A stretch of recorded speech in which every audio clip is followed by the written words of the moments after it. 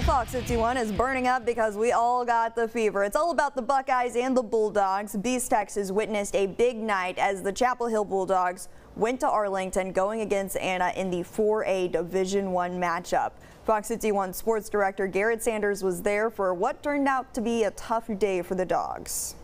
Coming into this season, the Chapel Hill Bulldogs had lost back-to-back state semifinal games, but not here in 2023. They punched their ticket to the 4A Division One state championship. However, when they got here, they had a hard time finding answers for the Anna Coyotes. The Bulldogs were never able to find their footing on offense and had to earn every yard against this Anna defense. They also had a hard time stopping the Coyotes on defense in the first half, giving up 24 offensive points and falling 26 to nothing. It was a tough outing, but Chapel Hill head coach Jeff Reardon knows his program is heading in the right direction. The senior class got us here, but this is ultimately not the goal. Uh, it hasn't been the goal. The goal is to ultimately get gold instead of silver and, and to get to uh, win a state championship, but uh, it takes what it takes, uh, and we got to go back to work.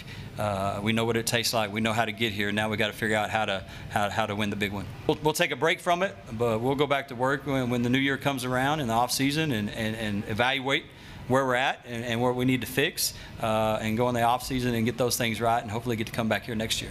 The Chapel Hill Bulldogs aren't the only East Texas team playing for a state title. The Gilmer Buckeyes are looking to knock off the heavily favored Bellville Brahmas, and they pulling off upsets is something the Gilmer Buckeyes do.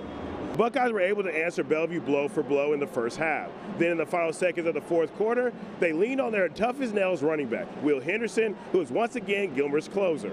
He was going to get tired, and we just had to go, hey, Will, uh, we'll just have to get over that tomorrow. You got to go get this, and he did. You know, uh, he went and got the first downs that we had to have to finish out that game, and that's the that's the heart of a champion right there. I love it. So East Texas was able to go three of four in Arlington with Timpson and Mal Malakoff winning earlier this week. And that's going to wrap up our 2023 Texas high school football coverage, hoping next year in 2024 we have even more teams represented here at State.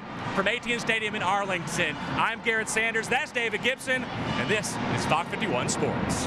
Well, congrats to all of our East Texas teams.